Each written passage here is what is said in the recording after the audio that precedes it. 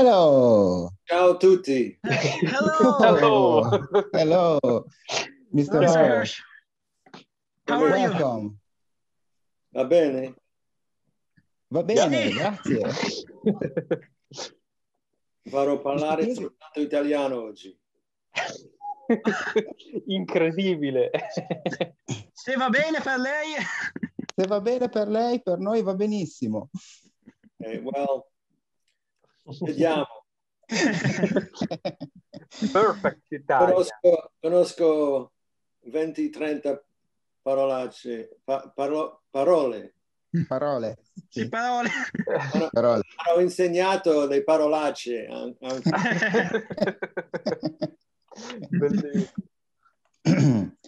Il So, mi- mio primo lavoro in- nel cinema era a Roma, 1900 1965. Mm. I was an extra. Come si dice extra? Comparsa. Comparsa. Sì. passa. In un film uh, con Catherine Spack, Mm? il regista era Nanny Loy. Ah, Mm. ok. Ah, It was a nightclub. Si chiamava the Piper Club. Ah, Piper Club. a questa epoca eh, eh, eh, um, it was the, the hottest the hottest nightclub in Rome. Sì, ehm, e dove è nata Patty Pravo? I'm switching to English now. Yeah. no problem. Absolutely. In between takes, we were dan- I was hired to be a dancer in the background, you know. So in between takes, the other kids, they were all Italian. They taught me tutte le parolacce romane. every time I said one, they would burst into laughter and the funniest thing they'd ever heard. So I actually memorized them. And today I still use them when I'm driving in traffic and somebody cuts me off. I I go to I go to my Italian. Yeah, very Italian style. I won't say it here because it was it was just it's it's not polite. don't worry. Don't worry. I don't know who's going to hear this. So, I don't know. Davide. Cominciamo. Okay. Mr. Hirsch, Yes. thank you. Thank you so much. It's an honor to have you with us. You Thank are at the Academy Award. Eh, It's amazing. It's amazing. My name is Davide, and Okay. the other two guys are Massimiliano and Francesco. Nice Yeah. to meet you, Mr. Hirsch. It's a pleasure. It's an honor. Yeah, yeah. The big Real. honor. I knew a Massimiliano. We called him Ma. Ma? They call you Ma? No? Uh, Max uh, for me, but yeah, my uh, I, I I think that there was a friend of my father that used to call me Ma as well. So yeah, it's not uh, it's not unusual. Yeah. So yeah, we Um, we wanted to ask you a few questions about you know your your history, your work, your uh, everything you've done, and uh, Davide wanted to start And- with your. Uh, yeah. You know. uh, we will talk uh, about this. Ah, wonderful. Thank you. oh yeah. And how did the idea of writing a book come about? To write this book? Well, um, I was on location in Vancouver around 1999. I was working on a film called Mission to Mars, directed by Brian De Palma. And um, my wife was behind in Los Angeles. She hadn't come with me. When I go on location, um, it's very difficult for her. She doesn't have a job to go to. She doesn't have friends there. She doesn't have routine, you know. So she's basically, uh, if she accompanies me, I go to work, I see people, I have things to do. She's on her own all day with nothing to do and no friends. So um, we agreed that you know, she used to come with me at first, and then after a while, it was just too difficult for her, and she, um, we decided she would stay behind. So on the weekend, I'm by myself, and um, kind of bored and lonely, and looking for something to do myself, and um, I had been telling these stories. I would go to the set, you know, uh, when I had a I would take a, a, half hour off from work and I'd go to the set. And, you know, on the set of a movie, you hang out with people and you tell stories. And so I've been telling these stories and I'm getting a good reaction from people hearing the stories. And I thought, I should really write these down. Yeah. So I started, so I, I wrote a chapter. I think the first thing I wrote was the chapter about I Love Trouble, mm-hmm. because that was a particularly uh, good story. And um, after I'd written it, I thought, you know, I should really write down, I should make an outline of all the stories that are sort of kicking around in my head. So I did that and I, I sort of did it picture by picture, going back to my first film and what I could remember about what happened on that film. And in my second film, I met Bernard Herrmann. So that was a very memorable experience. So I, so anyway, I made an outline um, of just a couple of words to trigger a memory that I intended to write about someday. So uh, when I had time, I would go to my outline and I would find something when, when I wrote about something, I would turn the, the font to bold so I would know what I'd already written about and what I hadn't written about. So I just went back to this, uh, my notes over time, whenever I had a free moment or, uh, and I did that for 18 years. So sometimes I didn't work on the book for three years at a time if I got busy at work but you know, over the years, uh, my periods of employment got shorter and my periods of unemployment got longer. Uh, and I had more time to spend on the book. And I finally finished the first draft in 2017. And I showed it to, uh, I mentioned it to a friend, a man named Nicholas Meyer, who uh, is a writer, director, I've known him since we were children, and he offered to read the book, and uh, and he said, "I'll edit it for you." Well, he didn't edit it, but he read it and he gave me notes, and many of the notes were things like, um, "Well, how did you feel about that?" You know, and uh, he wasn't really editing; he was asking me to write more, but they were very good notes, and uh, we got through the end of that process, and he said, I'm going to introduce you to my literary agent, which he did. And um, she's this uh, woman named Charlotte Sheedy. She lives in New York. She's the mother of Ally Sheedy, the actress. And um, she met with me and she said, I think there's a book here, but it's way too long. And you have to cut it down there are things in it that are offensive to women that I want you to address. And I was surprised because I, I didn't think there had been, but so what do you mean? She said, all that, you know, all that stuff about the naked women. I thought, what is she talking about? And later I remembered. Um, so uh, she said, I want you to work with an editor at, you know, somebody I will recommend to you. I said, okay, who pays for the editor? She says, you do. I said, okay. so uh, I called this woman and uh, she turned out to be a, a, wonderful editor. We worked together um, for several months, but we never managed to get the picture down as uh, to the size that Charlotte had asked for. Um, she said, you have to get it down to 125,000 words and my original draft was about 175,000. So it was almost, you know, a quarter of the book. And I, I worked with my editor and, and we got it down to about 145,000, but I said to her, I said, look, you know, we've cut out about 30,000 words already. Uh, I don't think I can cut any more, you know. I, she said, yeah, um, feels pretty tight to me too. So she said, I'll call Charlotte. And she called Charlotte and Charlotte said, oh, he, he was taking me too literally, you know. So I thought 125,000. so, um, so then she turned it over to a man in her office who's in charge of nonfiction. Charlotte only deals with fiction.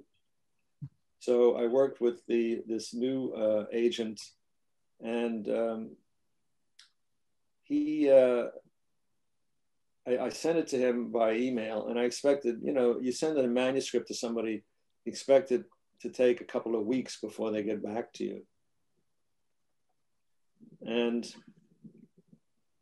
I sent it on a Thursday or something. Sunday night, I get an email from him with the manuscript attached, and it's edited from beginning to end. There are comments and notes on every page, all the way through the entire book. And I was, I was shocked and, and alarmed. Yeah. and uh, I called my editor the next day and I said, you know, what's what's going on here? And he was making he was making comments like too many names. There are too many names. And I thought, well, these are people that I worked with, that I have a, an ongoing relationship with. I just I can't just cut their name out of the book, you know. So um, she said, well, look, don't worry too much about the specific notes. The way to interpret this, she said, by the way, she's in her 60s. She says, In my entire career, I've never seen anyone do this before. Not only read the book in one weekend, but edit it from beginning to end. I, I've never seen this before. She said, But I would take it as a sign that he really wants the book. So I thought, oh, yeah, okay, you know.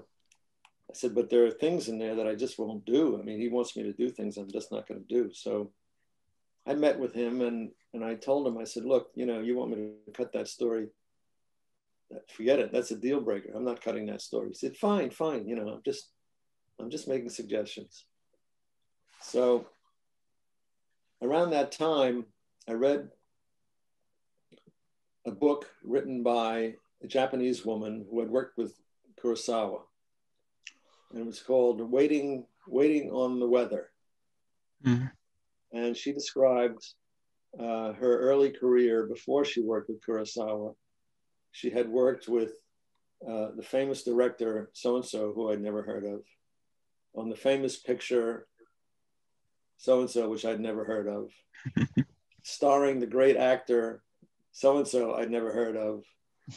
And it went on like this for a while. And, I, and, and it started to dawn on me that hmm, maybe all these names maybe there are too many names in the book. You know, it, it slows down the reading if you're constantly coming up against the name of somebody you've never heard of. It's not helpful. So I decided that I would only talk about. I decided that I would only give a person's name if I mentioned them more than one time. If I mention them if they if they recur in the story, if you know, I have to give them a name because if I go back to them and say, it, and then Tom said, you know, um, but other than that, if the if the person mentioned was only mentioned once, it would be the assistant editor or the projectionist or the producer or especially I, was very happy to cut out all the producer names uh, because nobody cares about them. so, um, anyway, so so we we worked together, and then after a while, he said, "Now look, I'm going to start to send the book out. I want you to get to Carrie the picture Carrie in the first 50 pages."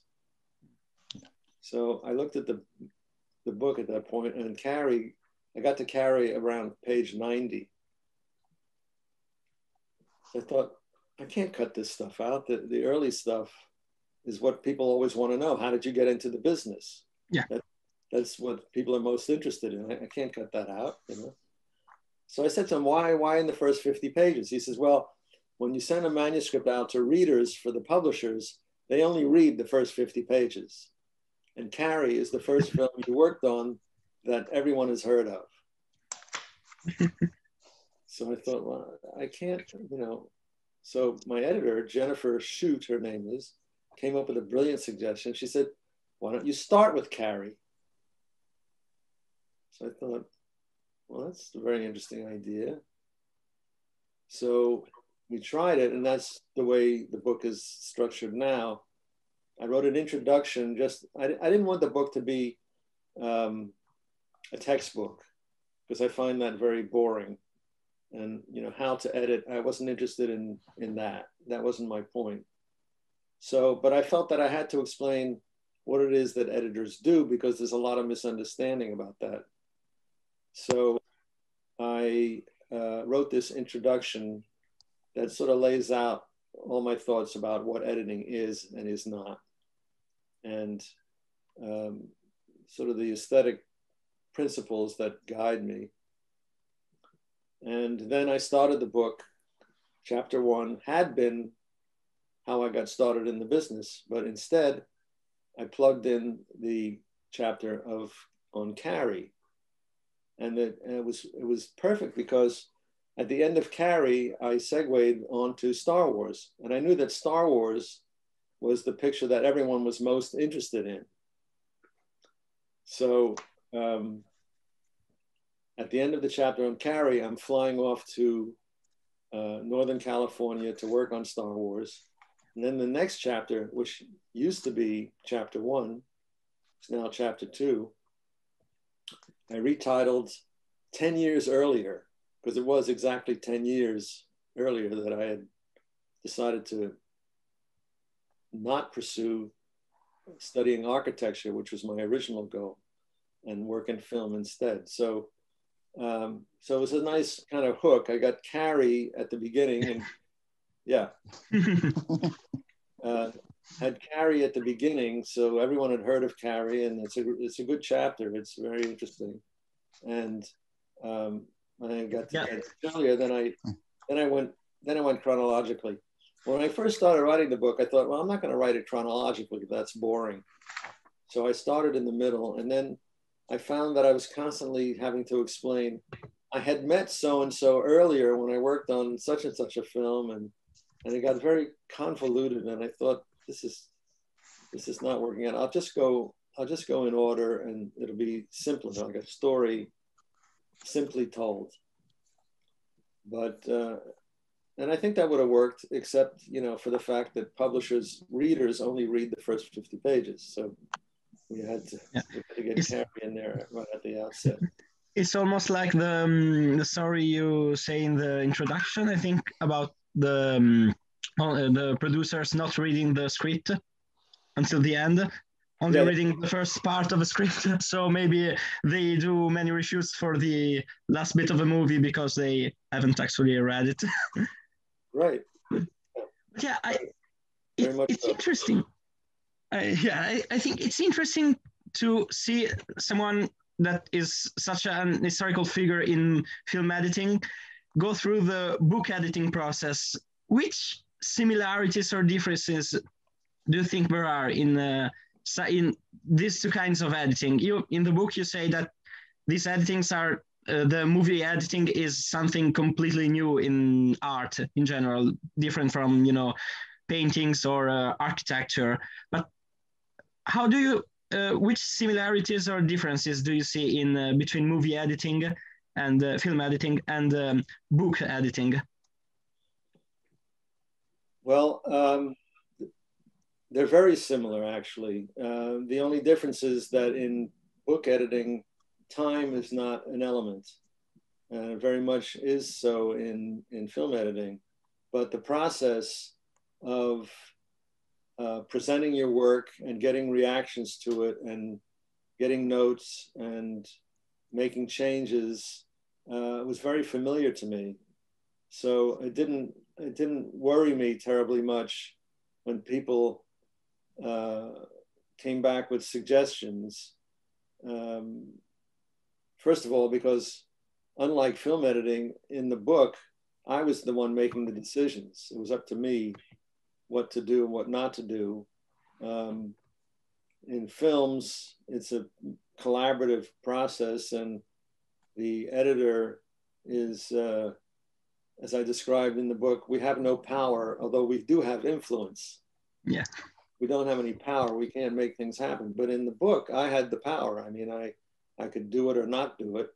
And uh, so I didn't feel threatened particularly by uh, suggestions that people made. And sometimes they came up with some very good ideas. I thought uh, putting Carrie at the beginning was a very good idea. Uh, but it was up to me whether to do it or not. But the, the, the process was very familiar, with, you know, uh, cutting things out, streamlining, um, deciding, you know, uh, what to include and what not. I quote Michelangelo, he said, beauty lies in the purgation of the, uh, I'm changing his words, but it's something like purgation of the unnecessary, of the, the superfluous. It's the purgation of the superfluous. You know? So uh, that's what it's about is, you know, deciding what is necessary and what isn't, and in what order to present it is, uh, so it was a very familiar process to me.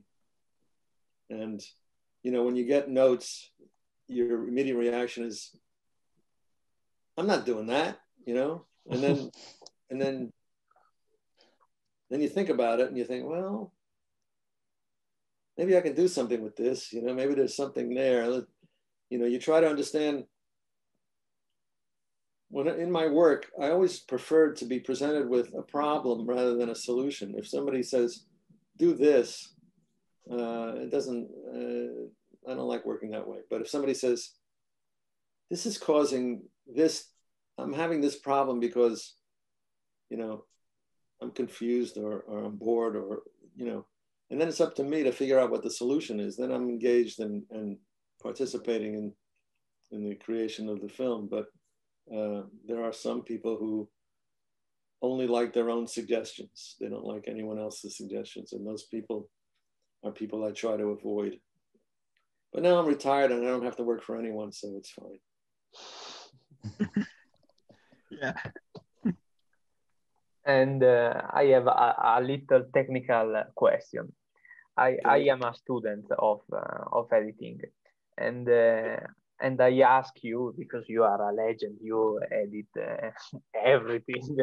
and uh, what changed for you between uh, editing the film and digitally with software and uh, and computers for you personally? Well, I always liked working with my hands. Um, one of the things that attracted me to film editing in the first place was the tools. Um, the the uh, the splicer and the synchronizers and the reels and you know I liked handling stuff and I had I had uh, my different tapes and different colored pens and labels and and you know working with film every day you would get a roll of film from the lab and when it's straight out of the lab it's beautiful this black disc of film gleaming uh, untouched you know and uh, there was a tactile it was a it was a craft as as well as an art. You know, it was um, you're working with your hands, and I, I I liked that very much. And I did that for 25 years, and then the second 25 years I was on computers, and I think when you worked on film, uh, there was a there was a, a need to be right the first time. It was sort of like the difference between working in uh, car carving in marble or working with clay because if you if you're carving stone you can't change anything once you've cut something away it's gone yeah. Whereas with clay you know oh I, I cut too deep there. Let, let, me put some back you know? So uh, that's true of editing. It's more like modeling in clay than it is like marble. But even so when you were on film you didn't want a work print that was filled with splices where you had cut things short and then extended them because the splices go through and sort of interrupt your vision and and and uh, it, it degrades the experience some you know subliminally so you try to you know because the work print is not only a guide to the negative cut or how to cut the film for eventual release, but it's also what you project to audiences as you're trying things out. So you have to take care of this artifact that we were making. And uh, I took pride in, in having, you know, a clean, good looking work print. And there was a, uh, there was a skill level, uh, skill aspect to it where, uh, where when you're working with your hands, you need a certain amount of skill. You're sitting on a computer, you put it in trim mode, you add a frame and add another frame, add another frame, and then you go back and you, you know, this is more like working in uh, in uh, um, what's the word in in not gesso, but in uh, you know doing a fresco. When they painted in fresco, they're working on wet plaster. They had to get it right the first time. Otherwise, they have to chip it out and put replaster and paint over again. You know, but um, so it's like you know working in fresco as opposed to oil where you could paint over and keep painting over. Um, there was a premium pla placed on getting it right the first time. Because also it was so complicated making changes and took so you had to un, you know, undo the splices and find the extension and add that. And it was a time consuming, labor intensive process. Uh, so like I say, there was a premium on people who could get it right the first time. And I took pride in having scenes that I cut um, the first time being in the finished film that the director looked at and said, great, no, no comments, you know, we'll go with it just the way it is. And I always tried to make my scenes as good as possible in case we never got time to go back and revisit them. I always felt at least we can show this to the public and it's good enough for everyone, you know. So, uh, but of course, you know, you always uh, rework things as you go. But um, when I was introduced to digital editing for the first time, I thought, man, I'm going to be able to go so fast on this thing. Because editing is not a technical process, it's a mental process where you're making judgments about how long something is and how or how short, if it's in the right place, is it um, so, you know, or is it necessary at all? So these are things that are unrelated to the tools. And it's sort of like, you know, if you're working with a pen or you're working with a word processor, that's not what's important. What's important is what you're writing. And it's the same thing with editing, whether you're working on film or working digitally It just means for me it meant i could go really fast so excuse me when i was working in film i could cut about 10 minutes uh, a week but on on computer i could go 15 20 25 i could you know my productivity jumped enormously because i didn't have to take the time to make splices so uh, yeah, it's a, and, and it also had the advantage of making it very easy to compare line readings, where on film it's really kind of tedious, especially with John Hughes. He would shoot thousand foot takes. It's about uh, about 10 minutes of film or 11 minutes of film. And he would shoot a close up, and then the scene might be only three minutes long. So we'd get to the end of the three minutes, and instead of saying cut, he'd say, okay, let's do it again, you know, and so there might be three or four takes in a single take because he didn't ah. touch the camera. And if it's a close up, there's no visual cues as to what the actor is saying. You have to listen to it. So on planes, trains, and automobiles, for instance, he would shoot a close up. He would do three takes. That's 3,000 feet of film, you know, which is uh, a half hour of film. And there might be nine or 10 line readings in there somewhere that you have to search for and find and compare to make sure that you got the, the best one. So the computers helped enormously with that. Um, yeah, it took a lot of the labor out of it, but the mental, the mental process is the same.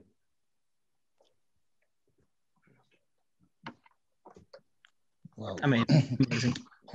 Incredible.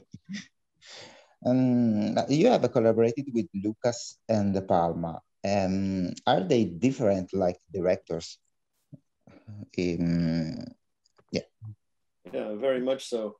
I mean, George never moved the camera, and De Palma is famous for moving it constantly. I mean, if you look at Star Wars, all the movement is in the visual effects shots. Uh, in the the rest of it, he he may be panned if somebody was crossing, he would pan with them, but that's about it. There, there's not a lot of complicated camera movement in Star Wars. Uh, George's gift, uh, his interest is more in uh, production design. I think his production design, if you look at all his films, he's come up with some extraordinary images. I mean, over over the entire uh, history of the of the Star, Wars films, um, the imagery that you know, the worlds that he conjured up, the the desert world, the frozen world, the jungle world, the you know, um, and the, the, the the Imperial Senate. There was an underwater one, and I mean, there's extraordinary worlds that he imagined. Um, uh, Brian is more interested in um, camera movement and uh, set pieces where where he designs uh, scenes that that are like a complicated puzzle that need to be they're tremendously fun to put together. Uh, George's shooting style is much simpler, um, and of course, you know the um, their interest in terms of subject matter is very different as well. yes. Yeah, I, the, the the difference absolutely is quite quite big. But if I can jump to um, Star Wars for uh, a bit, I wanted to ask you something. The um, Star Wars was has probably some of the most iconic and uh, peculiar use of uh, transitions in movie history. How did you come up with this kind of transitions? Was with a discussion with Lucas? Uh, was an idea of your own? Was a bit of a collaborative effort? Yeah, well, you're talking about the wipes. Yeah. yeah, so I always liked wipes. Um, when I first got into the business, I was cutting trailers, and uh, wipes were traditionally used a lot in trailers. And uh, to get a wipe made, you would go to a company called an optical house.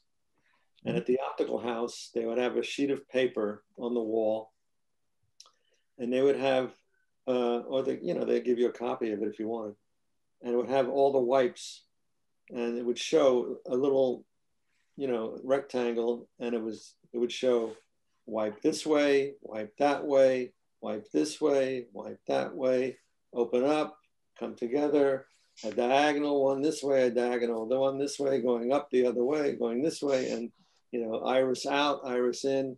So uh, there are all these choices you can make. A star, an explosion, a heart. They had all sorts of things, or you know, uh, Venetian blind kind of thing. And so uh, one of the directors I worked with called it the the, this sheet showing all the wipes is the, the flags of all the nations. There were like a hundred different things you could choose. So I was sort of, I was sort of tickled by these things. My first film that I did with Brian was called Hi Mom, and we used wipes in Hi Mom. And um, I liked, I wanted to emphasize, you know, I didn't want it to be quite uh, as subliminal uh, as they normally are. So I had them offset the two elements of the wipe so there would be a black line uh, visible on the screen where the wipe was. Anyway, so I think I had about five or six wipes in Hi Mom. And uh, that was my first film. Star Wars was my sixth film. I did five pictures with Brian before moving on to um, Star Wars. And in Phantom of the Paradise, which is our third film together, I used wipes again. And uh, in that case, uh, I made a wipe out of, there, there was a logo in the film of a dead sparrow lying on its back. It was the logo for Death Records in the film. And I made a wipe, um, I had to make a wipe out of that where it, uh, we would zoom through it.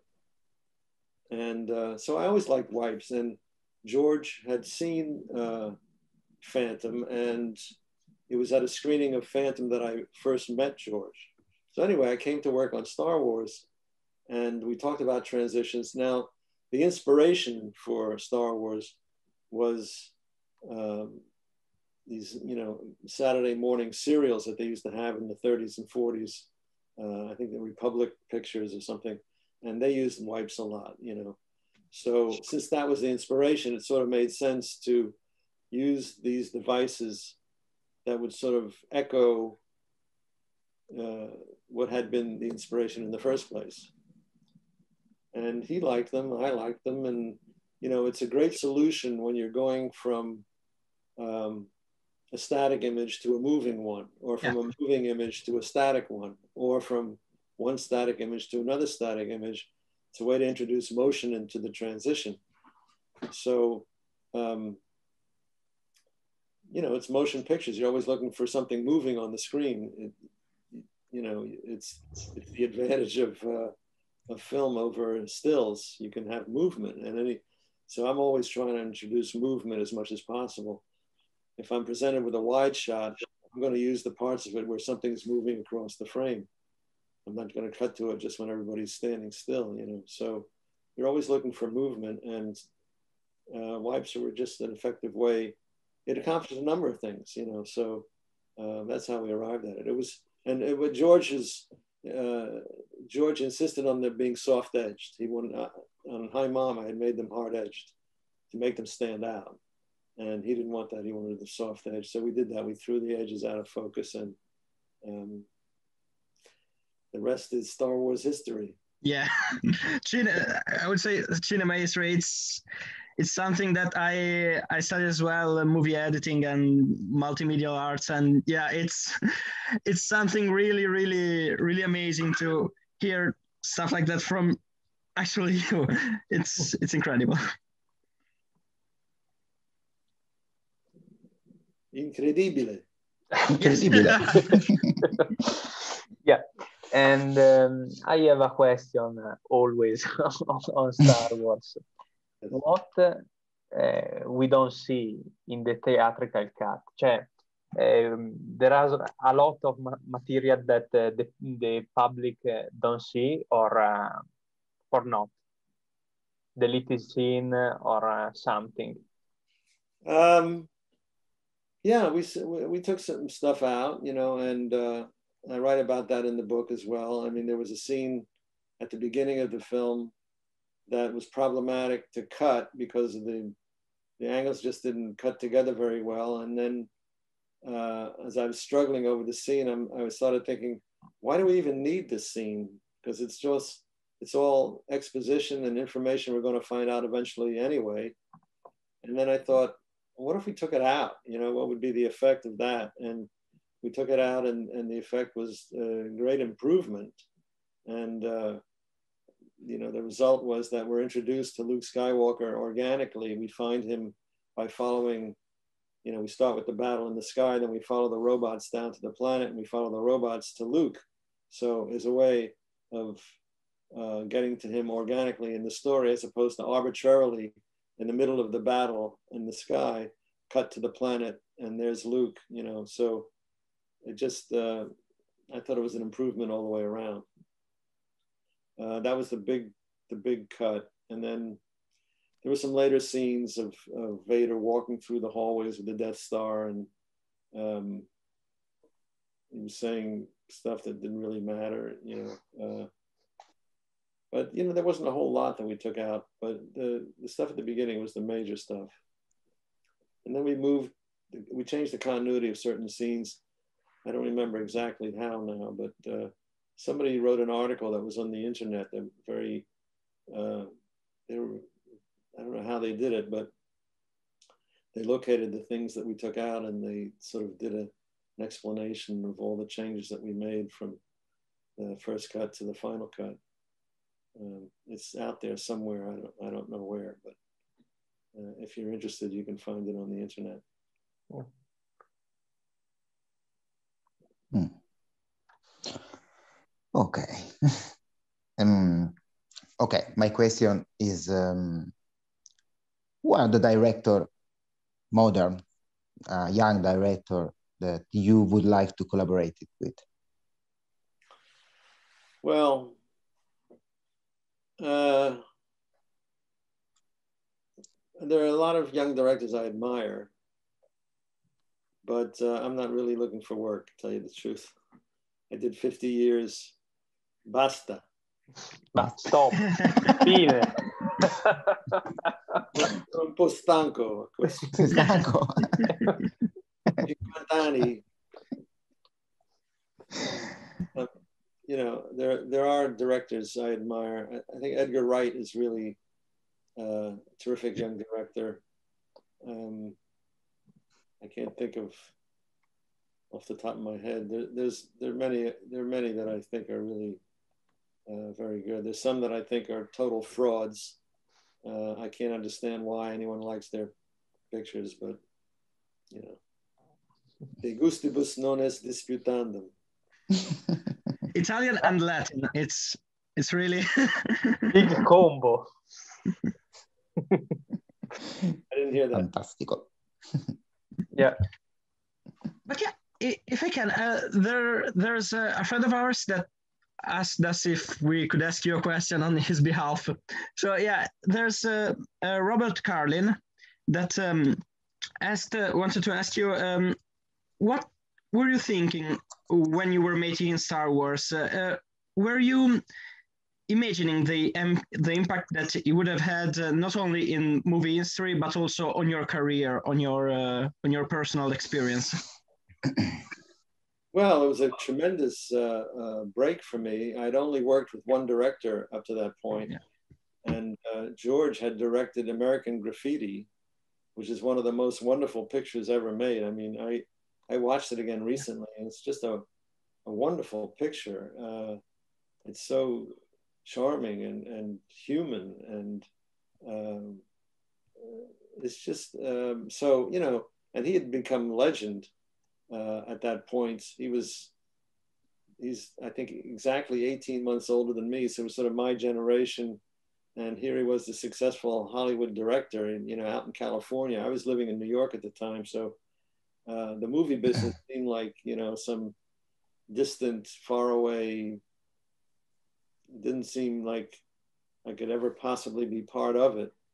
Um, and uh, yeah, to work for George was a tremendous opportunity for me uh, to work. You know, first of all, to work with someone else other than Brian. He, you know, listen, Brian was my um, my mentor, and he encouraged me, and he empowered me, and he and uh, he taught me a lot. And you know, it hadn't been for him, nothing else would have followed. Um, but you know, uh, George was. It was a great opportunity for me, and as far as thinking about the impact on the world, my wife was pregnant with our first child, and I was more concerned with, you know, I wasn't thinking about the impact of Star Wars on the world. I was thinking of, what am I going to do? How do I get off work when she goes into labor? You know, um, so uh, no, we weren't thinking about those things. I mean, I was I, around Christmas time. I saw an ad for the picture and said, "Coming to your, you know, a, a, theater in in in your galaxy." and had a, the date May 25th. And uh, it said in six track stereo, 70 millimeter and six track stereophonic sound. And I was dumbfounded because I, you know, I've been cutting 16 millimeter until a couple of years before. And all of a sudden I'm working on something that's going to be released in 70 millimeter. It was just, just couldn't believe it. So, um,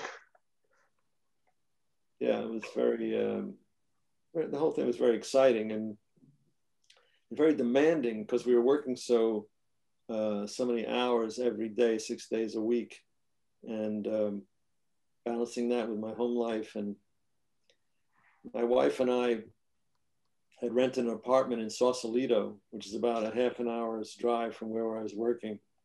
And uh, because the, you know, essentially Star Wars is a low budget movie. The original one was sort of a low budget movie for, for what it delivered.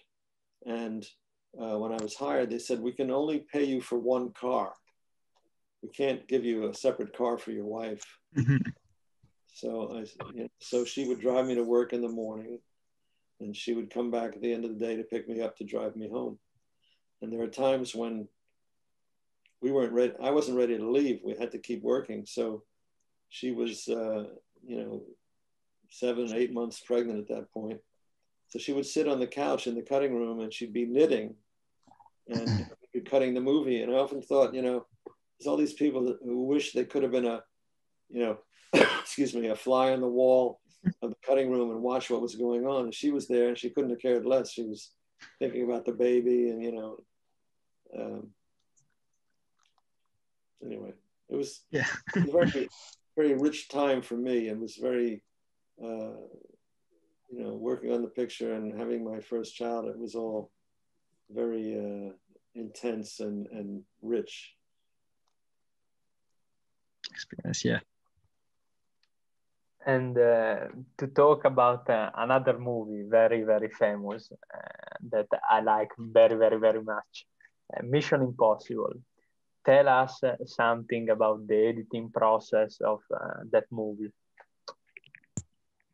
well i was not originally hired to cut mission impossible the original hire was jerry greenberg jerry was another editor from new york who actually i had introduced to brian um, Jerry had been the first editor from New York ever to win an Oscar for The French Connection and the famous uh, car and subway chase. And, you know, he's, he's a terrific editor. And when I wasn't available for uh, Dressed to Kill, because I was going off to do Empire Strikes Back, uh, Brian said to me, What am I going to do? Who's going to cut my movies? Because I'd cut his last five pictures.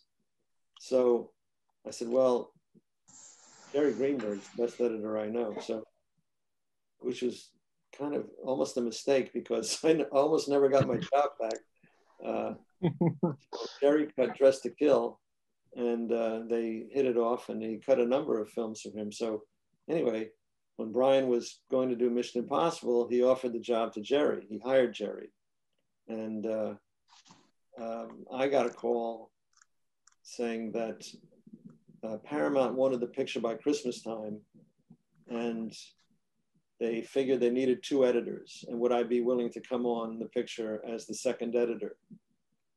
So I said, yeah, fine. You know, I admired Jerry, and um, and I wanted to work with Brian again, and uh, so I signed on, and the two of us went to London, and Jerry was seeing a woman in New York at that time and he would leave work on Friday afternoon and go to the airport and fly to New York from London. And he would come back Monday morning. He would take the red eye over and land in London in the morning and, and come to work. So uh, I, he did this for several weekends, and I'm, I, I think Brian may have heard about that, and I don't think he I don't think he liked the idea. But anyway, at that point, they had done several pictures together, and I don't really know what what went on between them. Um, but they obviously had a history. And one day, Brian came into my editing room, and we had divided up the the film so that you know he would do some of the work, I would do some, and there were three major set pieces in the film. There's the embassy party at the beginning, then there's the break into the CIA, and then there's the train chase at the end. So uh, the first thing that was shot was the embassy party. They were shooting in Prague, and uh, it was agreed that Jerry, because he'd been hired first, he would take on the first big set piece, which was this embassy, um, you know, the, the, killing of the team. So uh, I was doing some other smaller scenes that were cut uh, that were that were shot in Prague. And uh, anyway, Brian came into my editing room one day and he said, I just fired Jerry, and I was rather shocked at this. And he said, I want you to come see what, you know, and, and Jerry was gone. I never, I, I don't think I even got a chance to speak to him before he was gone. So um, he said, I want you to look at what he's been doing. And so I started watching. Now, this is this is the first for both of us. This, this is the first picture that both of us had worked on uh, computers. We'd all been we, we'd both been working on film up to that point. This is you know this is our first introduction to digital editing, and um, we were working on a system called Lightworks, and it's similar to Media Composer. There was a you know, and as I saw it then, it was there was an imaginary piece of film. There was a picture of an imaginary piece of film, and there was a picture of an imaginary soundtrack, and you could make imaginary splices in these imaginary pieces of film. but again, you know, like I say, editing is not technical; it's it's mental. So um, I had somebody next to me who knew the system, and I would say, I want to do this. How do I do that? And he would show me. And then he was sort of my co-pilot for about a week. And after a week, I, I knew how to work the system, and it was, it was pretty easy to pick up. And uh, uh, we were talking about it with Jerry, and I said, you know, this this timeline thing is, you know, I described how I saw it as an imaginary piece of film. So he said, well, I don't look at the timeline. He says, I, I work on just the image. I only look at the image. So I thought, really? I thought it's kind of useful to look at the timeline. But anyway, so Brian said, I want you to see what Jerry's done. So I watched the, you know, I started to watch it and it was really great. And then all of a sudden, it sort of cycled back and it was repeating itself and uh, with variations. And then, and then it repeated itself again with more variations. And and I think what happened was Jerry got lost in sort of got lost in you know he wasn't looking at the timeline, so he didn't realize he was repeating himself. So I, I don't know how it happened. Anyway, it was kind of there were parts of it that were brilliant, and but overall the whole thing was was not working at all. You know, it was just so. Um, so I took it over. So I had to I had to rework I mean, I used a lot of what he had done because it was so good, uh, but I had to rework, you know, um, or I had to rework everything. And then at that point, um, Paramount had been in a struggle with Tom Cruise about the release date. Cruise always wanted it to come out in the spring. It was Paramount that had wanted it at Christmas, and um, Cruise finally won the, the, the battle and it was announced that we were going to open next spring. So there was no need for two editors anymore. So Jerry was gone, I was left, and I took over the film. That's how that went. Hmm. Yeah. With um, talking with uh, to Mission Impossible, with this movie, I think to Tom Cruise, you have a win um, the best pay vacation uh, in your life. I yeah. read in the book. Yeah. yeah. Rome, Venice, Florence. I had to pay for Venice. He sent me to Rome and then to Paris. And I said to them, I said, give me a week off in between Rome and Paris. So in the week off, we went to uh, um, Florence and Venice and uh, Lake Como. We spent a week on a wonderful vacation. yeah. Have you ever been to uh, Venice on the uh, uh, there is the uh, La Festa di Redentore. It's in no, it's in July. It's their big holiday. It's the it's the big. Uh, they they build a bridge, a temporary bridge to uh, the Giudecca from the main yeah. from St. Mark's. They put boats side by side and they lay a wooden platform across. You can walk. You can walk yeah. from from St. Mark's to the Giudecca across the lagoon.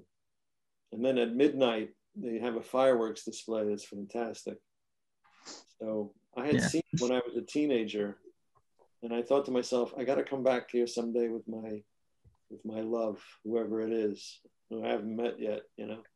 And that summer, I got to do it with my wife. It was really Ah, beautiful. third the third Saturday in July in Venice. I, ne- I never see Venice. Like, Someday, maybe. where are you? Oh, we are in Piemonte and um, Turin. You know? Yeah. Uh, we, I Like- live in a small town. Well, it's not that Surround- far. Jump on a train, you can be there in a couple of hours. What? Yeah. Problem problem now is that with COVID we're Yeah. we're stuck. Well, there will be life after COVID. It's not going to Yeah. be. forever. Absolutely. Yeah. Have you have you been vaccinated? No. Not yet. Not No. yet here. The rollout is is not it's it's going but it's quite slow and we're still young, too young to get it. So did, did you get a chance to get uh, vaccinated already? Yeah, I'm I'm immune now. Yeah, that's amazing. That's amazing. Inoculated. I still don't feel totally comfortable going out, but Yeah, yeah. Sure. so much is unknown about what's going on. You know, it's just uh, it's a terrible thing. It's Yeah, yeah. nobody thought we'd have to deal with a global pandemic. Nobody signed up for this. You know. Yeah. So, uh, but Venice is l- delightful. It's like Disneyland. You know, Disneyland with with taste.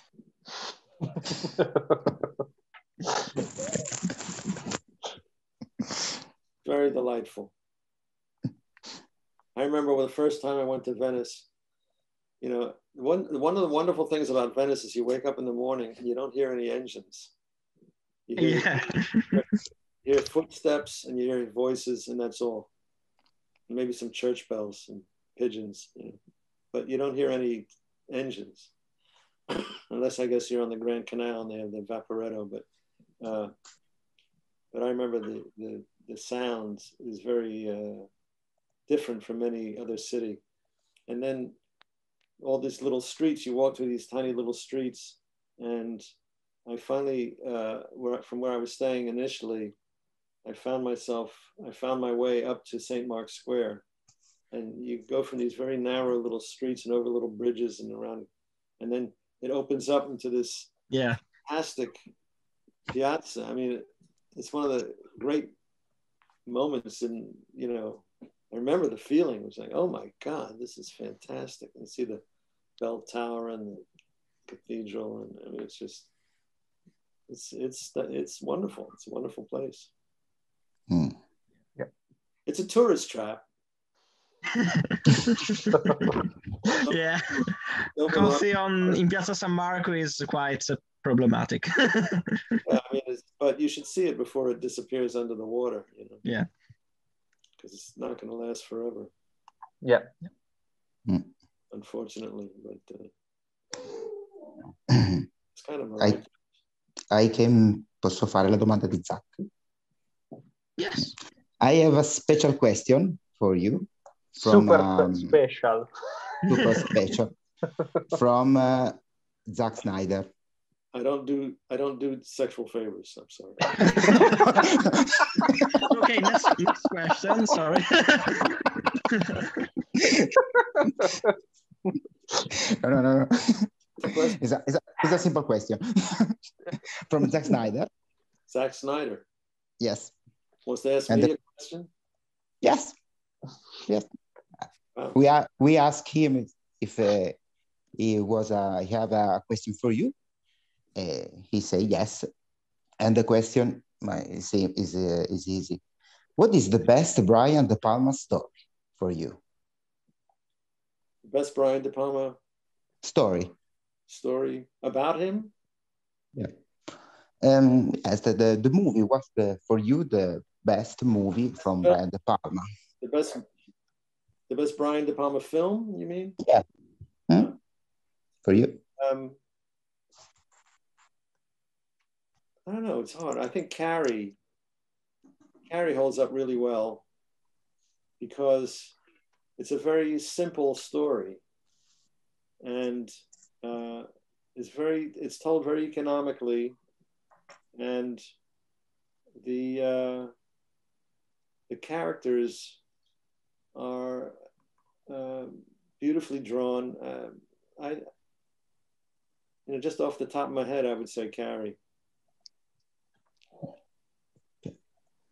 Carrie, that's such a beautiful movie. The even the use of a split screen is something really, really. I I was rereading the bit where you say that you you had to adjust the the eyes, the look that she gives uh, during the prom scene, and yeah. it's such a it's such an interesting and beautiful scene. It's it's really really amazing. Yeah. And the music is by Pino Donaggio, who yeah. from Venice. Yeah, and you, you translated for him as well. Brian would say, uh, "Tell Pino, dun dun dun dun dun dun." So I turned to Pino, I'd say, dun dun dun dun dun. it works. so they got along. he, they they made a number of pictures together. He's a very very sweet guy, Pino.